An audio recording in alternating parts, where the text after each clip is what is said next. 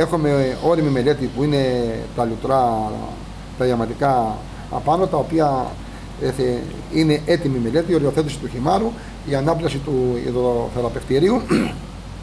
και είμαστε στην ευχάριστη θέση να, να, να μπει στο, σε δημοπράτηση. Άρα ε, είναι το ένα μεγάλο έργο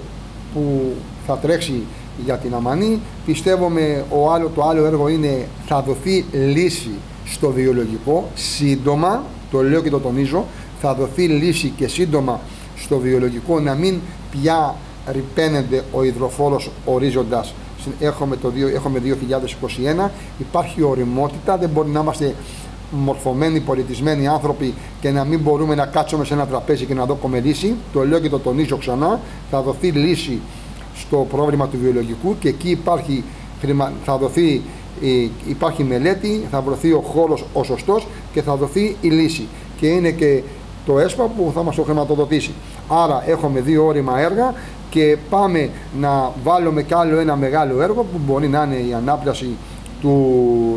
του, του οικισμού της Βορυσού, μπορεί να είναι οι διαδρομές, οι, τα γεωλογικά μνημεία της Αμανής, μπορεί να είναι η διαδρομή από το έπος μέχρι και τη Βορυσό, αυτή η υπέροχη παλιά διαδρομή, άρα έχουμε προτάσεις να καταθέσουμε για την ανάπτυξη της Βόρειας Χίου. Ε, και το θέμα της καθημερινότητας που θα μπορούμε να το μιλήσουμε με τον συνάδελφο τον Κυριάκο του Ζωάννη.